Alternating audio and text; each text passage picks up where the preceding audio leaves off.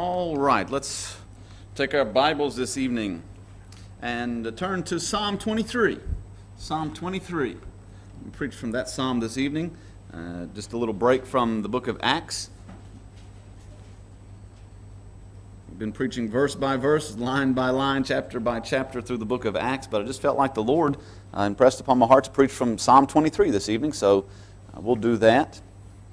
Psalm 23 and there's not going to be any new revelation. Of course, there never is, but I mean, I'm not going to have anything that's just going to be like, wow. But you know, the truth is this. Um, we, we, this is a very familiar psalm, probably more familiar, maybe one of the most familiar passages of Scripture known to the world.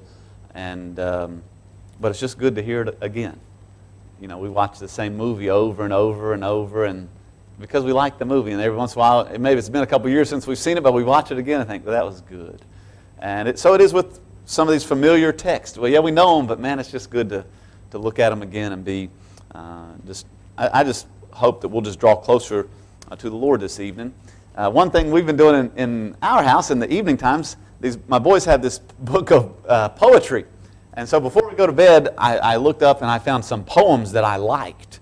And I've been reading them every night. And one of them is uh, by Robert Louis Stevenson, and it is Autumn Fires autumn fires. And it goes like this In the other gardens and all up the vale, from the autumn bonfires, see the smoke trail. Pleasant summer over, and all the summer flowers, the red fire blazes, the gray smoke towers. Sing a song of seasons, something bright in all, flowers in the summer, fires in the fall. That's nice, I think that's nice you know, fire. We're getting probably won't be many fires around here, but back home, you know, out the country in the uh, cool of the time in the evening, and uh, after summer's over, you get back in school and bonfires and all that's nice. And also read this one, Daffodils by William Wordsworth.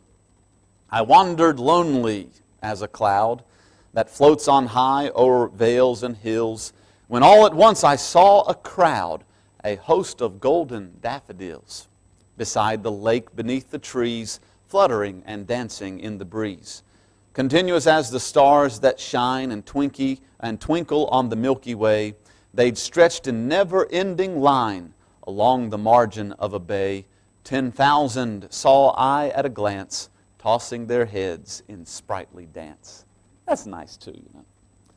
But I like these poems, but when you come to this Hebrew poetry here in Psalm 23, it doesn't even compare. It doesn't even compare. Because autumn fires and daffodils were written by men, but Psalm 23 was written from the heart of God. This psalm is picturing the peaceful relationship one may have with God as a deep reservoir of comfort for many. By the way, the Bible, I heard this today, is not a textbook. The Bible is the living Word of God. That's, man, we need to keep that with us. I know sometimes I get into studying it, and I study it so, sometimes, if I don't watch myself, I get into looking at it as a textbook. It's not a textbook, folks. it's the living Word of God uh, that will speak to our hearts. And that's what I want to speak to you tonight. Um, Psalm 23. The point is this the Lord is my shepherd. That's what I want you to take home with you tonight. When you go home and you lay in bed tonight, just I want you to think about the Lord is my shepherd. Let's read it together. The Lord is my shepherd, I shall not want. He maketh me to lie down in green pastures. He leadeth me beside the still waters. He restoreth my soul. He leadeth me in the paths of righteousness for his name's sake. Yea, though I walk through the valley of the shadow of death, I will fear no evil, for thou art with me. Thy rod and thy staff, they comfort me. Thou preparest a table before me in the presence of mine enemies. Thou anointest my head with oil, my cup runneth over. Surely goodness and mercy shall follow me all the days of my life, and I will dwell in the house of the Lord forever. The story is told about this little boy who was sick. He was a Scottish Scottish kid out in the Highlands of Scotland, and a, and a preacher and a, and a minister were called and said, Would you please go visit that little boy? And so they, uh, you know, went together, crossed over the moors and climbed the hillside and finally made it out to that cottage and knocked on the door and the mother uh, opened and let them in and they could tell mother was, you know, she'd been working diligently and had long hours written all over her face. It was her only child and he was uh, really sick and so let him into the room and uh, went over to the little bed where the little fellow was laying and they said, Laddie, do you know the 23rd Psalm? And every little boy in Scotland knows the 23rd Psalm. And he said, Yes, I can, I can, I can it. Can I know it? I know it. And I said, Laddie, can you recite it for me?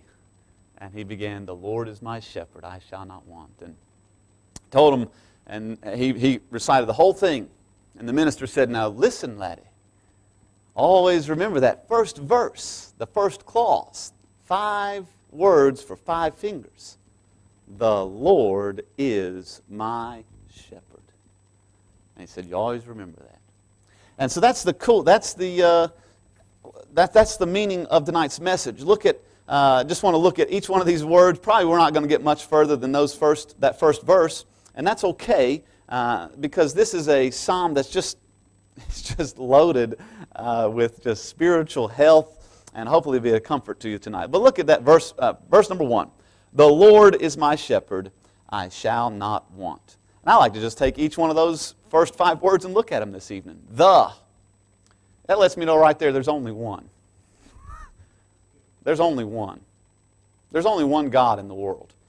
Man tries to search for everything and they think they found God, but let me tell you, God's Word says there's only one. The. Not a or one of many. The. Singular. There's one. There's only one God. And then look at it. The Lord. Now, in my Bible, probably in yours too, uh, all of those are capitalized. Is that right? Capital L, capital O, capital R, capital D.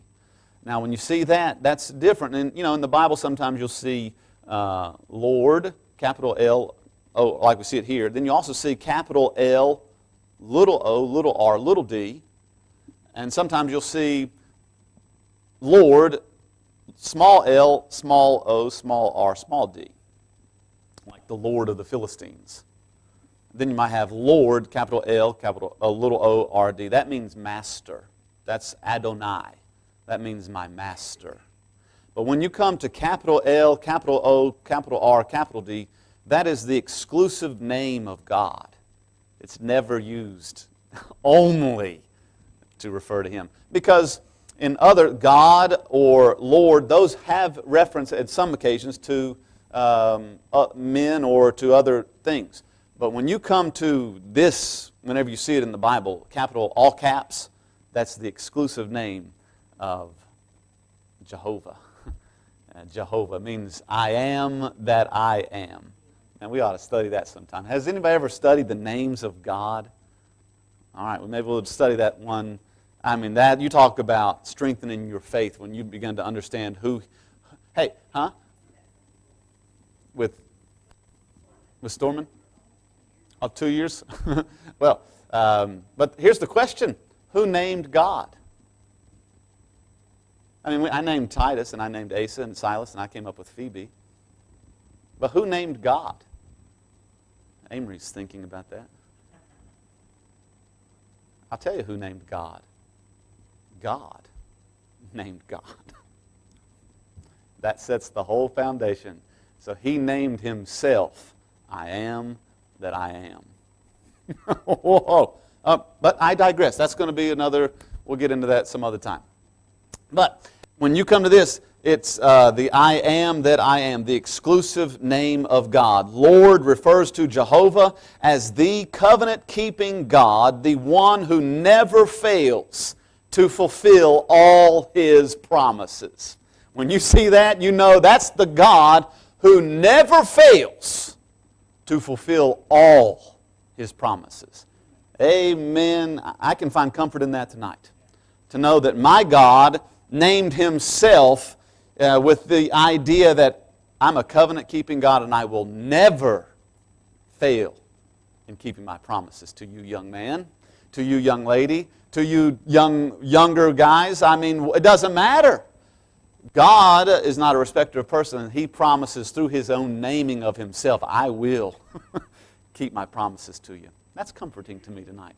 The Lord is my shepherd. I like Jeremiah 32, 27. It says, God said, Behold, I am the Lord, the God of all flesh.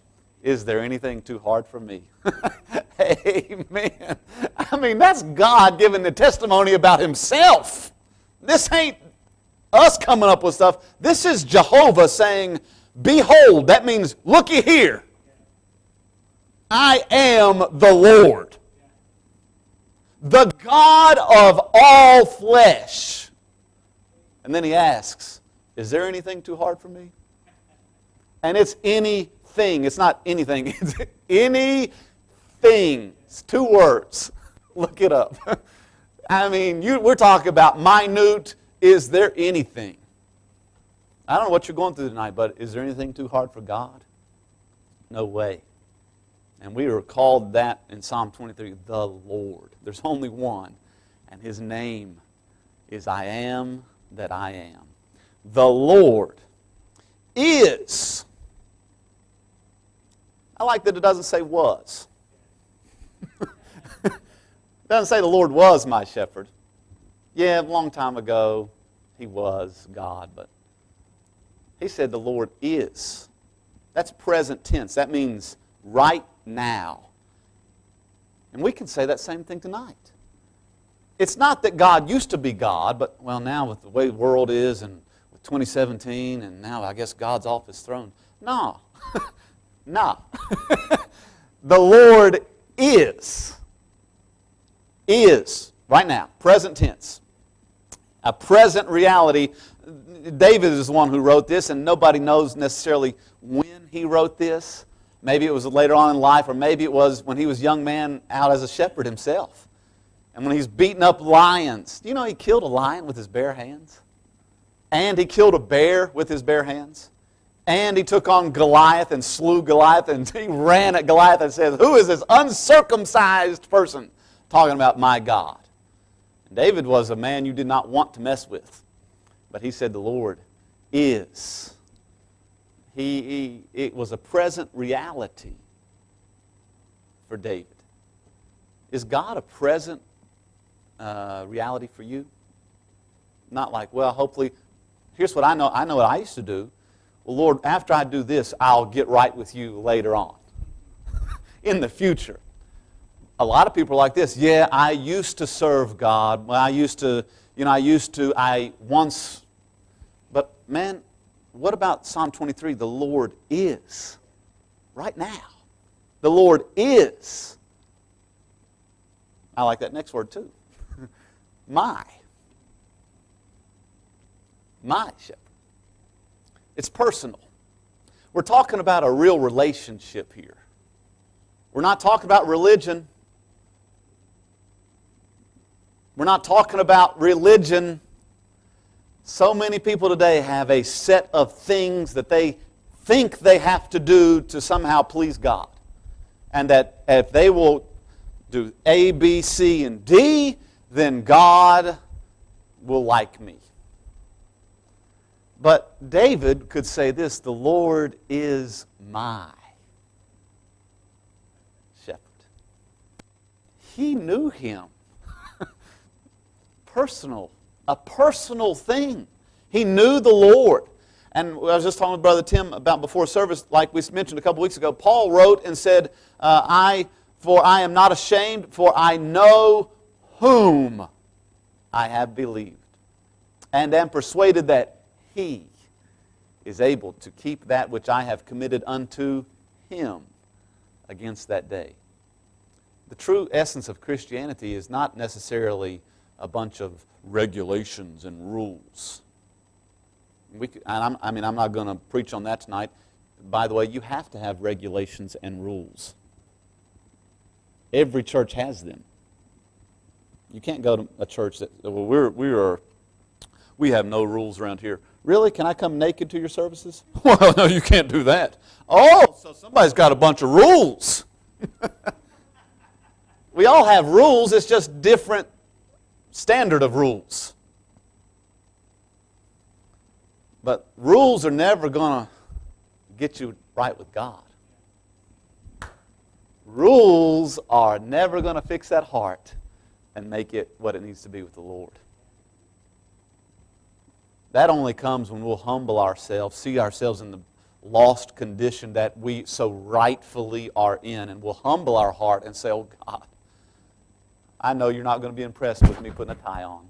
I know you're not going to be impressed if I darken the, uh, the steps of a church somewhere. But God, I know that I need to get right with you. Mm. I need to get right with you. It's not my brother, it's not my sister, it's me, oh Lord. It's me. It's not the church's fault. It's not the lack of evidence fault. It's not the Bible's fault. It's not the preacher's fault. It's a person. David said, The Lord is my.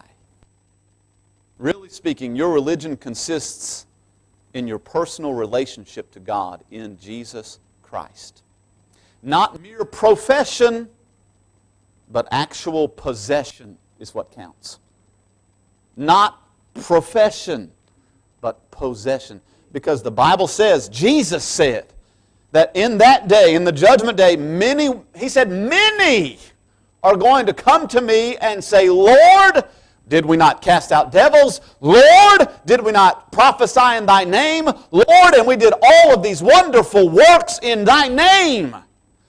Their problem was they were depending on their religion. We did all of this stuff. Aren't you pleased? And those sobering words from Christ Depart from me, ye workers of iniquity. I never knew you.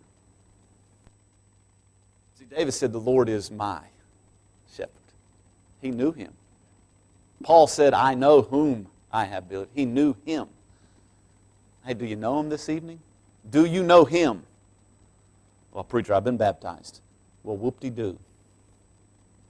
Well, I have been a member of a church for 15 years. That's great, but do you know him? I, I, I just remember just when I may have shared it, but I was at Belk in the States and I asked the young man, I said, if you died tonight, do you know where you'd spend eternity? He said, I've been in church my whole life. And I said, that ain't what I ask. But that's how people are. If you died, do you know where you'd spend eternity? Well, I have tried to live a good life. Well, I have been in church my whole entire life. Yeah, but that's not the question, friend. The question is, do you know him? Because it's not profession, it's possession that counts. And then we come down to verse to the fifth word there. The Lord is my shepherd. Now that's tender right there. That's sweet. Shepherd. He's not set forth as a distant king or lord or as the impersonal rock or shield, but here he stands as the shepherd who takes care of all the needs of his sheep. He's the shepherd. He's the shepherd. And Bible study tonight, you want to see a little Bible study? All right. He's the good shepherd, he's the great shepherd, and he's the chief shepherd. He's the good shepherd who gives his life for the sheep. He justifies. The good shepherd justifies. The great shepherd uh, is the one who takes care of us and sanctifies us. And the chief shepherd is going to appear and he will glorify us. Amen and amen. Psalm 22 is the good shepherd. Psalm 23 is the great shepherd. Psalm 24 is the chief shepherd. Amen. It's called the three appearings of Christ. Do you want to see them this evening? All right. How about quickly? Quickly turn to um, John chapter 10. How about John chapter 10? Jesus Christ is the shepherd. Look at John chapter 10 and verse number 10. The thief cometh not, Jesus is speaking here, but for to steal and to kill and to destroy. I am come that they might have life and that they might have it more abundantly. Watch it now. I am the good shepherd. The good shepherd giveth his life for the sheep. But he that is an hireling and not the shepherd, whose own the sheep are not, seeth the wolf coming, leaveth the sheep and fleeth. And the wolf catcheth them and scattereth the sheep. The hireling fleeth because he's an hireling and careth not for the sheep. I am the good shepherd and know my sheep and am known of mine. As the Father knoweth me, even so know I the Father, and I lay down my life for the sheep. Other sheep I have, that's talking about us, folks, which are not of this fold. We're not of the fold of Israel, amen. Jesus prophesying right here. Other sheep I have, I have which are not of this fold, them also I must bring, and they shall hear my voice, and there shall be one fold. Hey, hey, that's the church, and one shepherd, and that's Christ. Therefore doth my Father love me, because I lay down my life that I might take it again. Powerful words here. No man taketh it from me, but I lay it down of myself. I have power to lay it down, and I have power to take it again. This commandment have I received of my Father. That's the good shepherd right there. How about Hebrews chapter 13 and look at verse number 20. Hebrews 13 20. Hebrews chapter 13 and verse number 20. We see the great shepherd.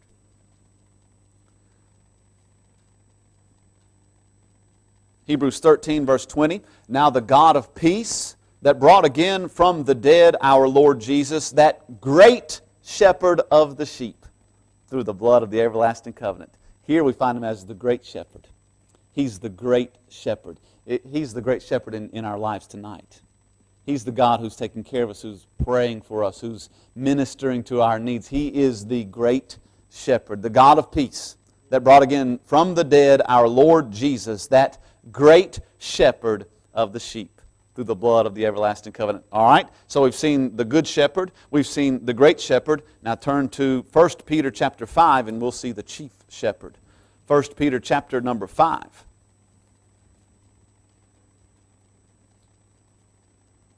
First Peter chapter 5 and look at verse number 4. And when the chief shepherd shall appear, ye shall receive a crown of glory that fadeth not away. So, right there, he's the chief shepherd. So, he's the good shepherd, he's the great shepherd, and he's the chief shepherd. These are the three appearings of Christ, and we won't get into it, but Hebrews 9.26 says he hath appeared. Hebrews 9.24 says now to appear, and Hebrews 9.28 says shall appear. This is the idea of our God who is a prophet, who's a priest, and who will be the king one day who has justified us, who is sanctifying us, and who one day will glorify us. Who is the good shepherd, he's the great shepherd, and he is the chief shepherd. Amen. Who came and laid down his life as the good shepherd. Psalm 22, if you study it, it's all about the crucifixion of Christ. It's all about that good shepherd laying down his life. He says, hundreds of years before there's ever such thing as crucifixion, we find the psalmist writing about they pierced my hands and my feet. They look upon me and stare.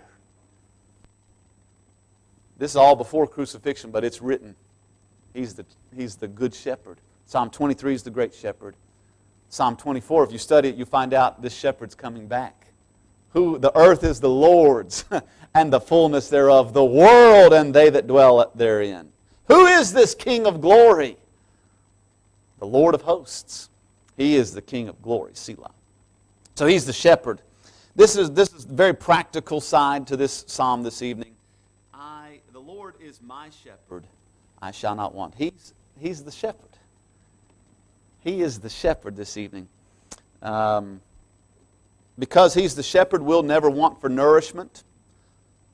Because he's the shepherd, we'll never want for refreshment, verse number two. We'll never want for rest, verse number three.